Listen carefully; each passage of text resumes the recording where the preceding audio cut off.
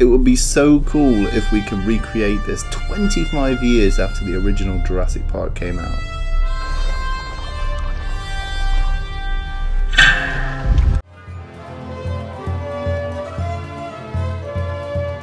So, being a huge fan of Jurassic Park, uh, if you're familiar with my channel, you'll know that I've built the night vision goggles to match the screen use prop. They actually work and wind out and light up and everything. Check out that video down below if you haven't seen it.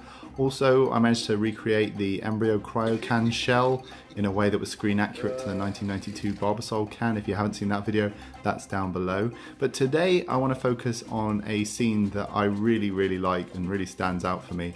And that's where the glass of water vibrates on the dashboard of the car.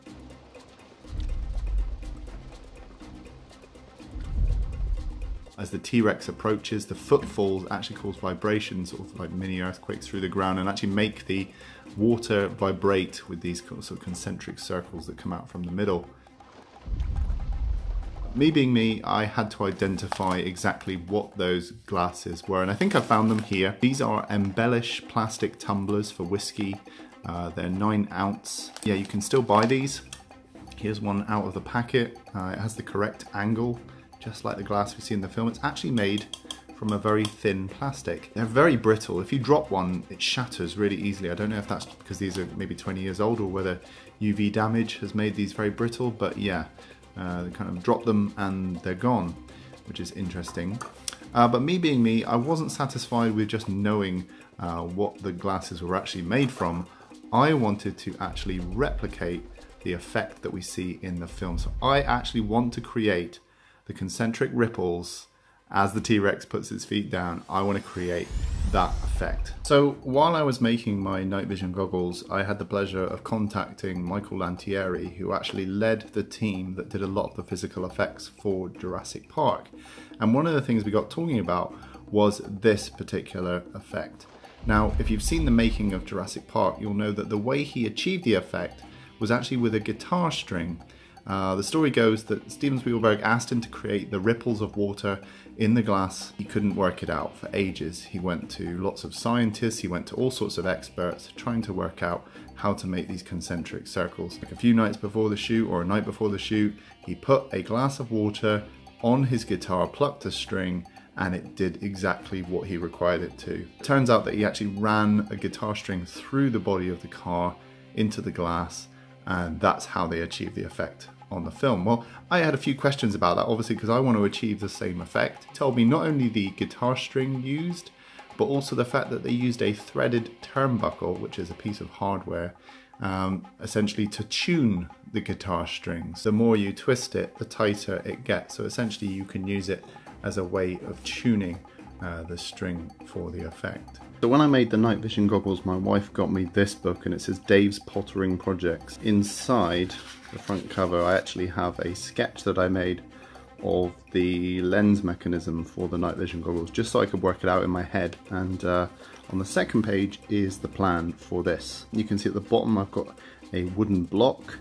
Um, at the bottom I've got a hook to keep uh, this uh, turnbuckle in place and the turnbuckle allows you to tighten the string which is tied from the turnbuckle and goes up into the glass and then there you can see my terribly crude drawing of an arm coming in and just plucking that guitar string and uh, making the cup of water vibrate. So that's the plan. Okay, so here is all the equipment and the materials I believe I'll need for this project. If I add anything during this project, I'll let you know. But I've got a block of pine. I've got a Stanley knife or cutting knife and some blades. I've got a spirit level, some wire cutters. Got the guitar strings there, famous cups, felt, a cutting mat, some sheets of white styrene. These are A4 sheets. A threaded turnbuckle, eye hook, and then I've got a pin vise and the little bits for the pin vise. I've got some super glue.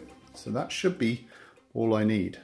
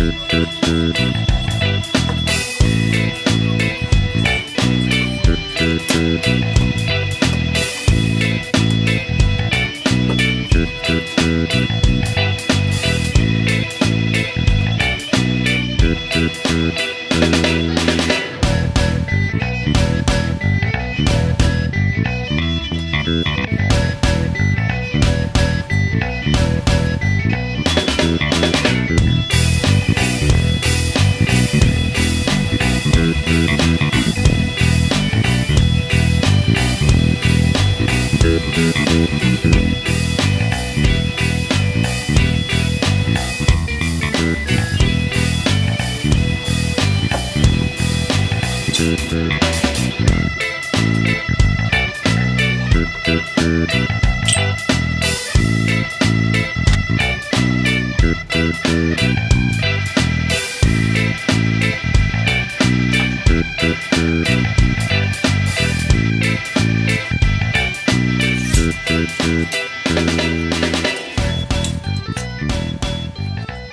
Okay, it turns out I'm at a bit of an impasse. If you remember back to the beginning of this video, I said the plastic for this cup is really delicate. Michael Lantieri explained to me that when they did this gag, they drilled a hole in the bottom of the cup, they fed the guitar string through, they tied a knot on the other side, and then they tightened the guitar string using the threaded turnbuckle. Now, because the plastic is so weak, it's actually cracking out from the middle when I'm tightening that guitar string. So, um, I've come up with a solution I found this um, disc of Perspex. You can buy these online at various thicknesses. I believe this one is about three millimeters thick, uh, but it lines up perfectly with the bottom of the cup. And essentially what I'm going to do is drill a hole in this first, feed the guitar string through this, and let the knot rest on this piece of Perspex.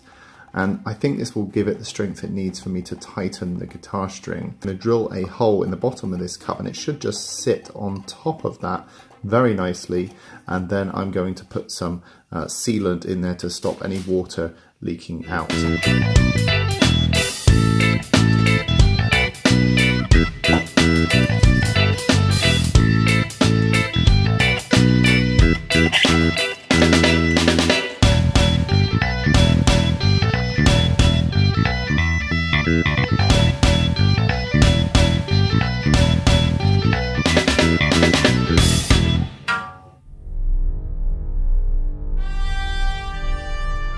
So with the contraption fully built, it's time to test the vibrating cup of water for the first time.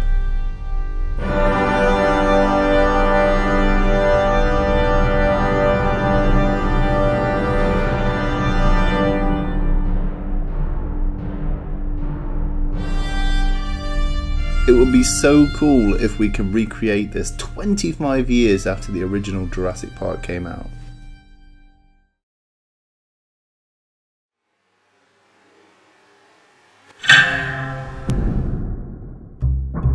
Yes! I don't believe it. It actually worked. Oh man, this is so cool.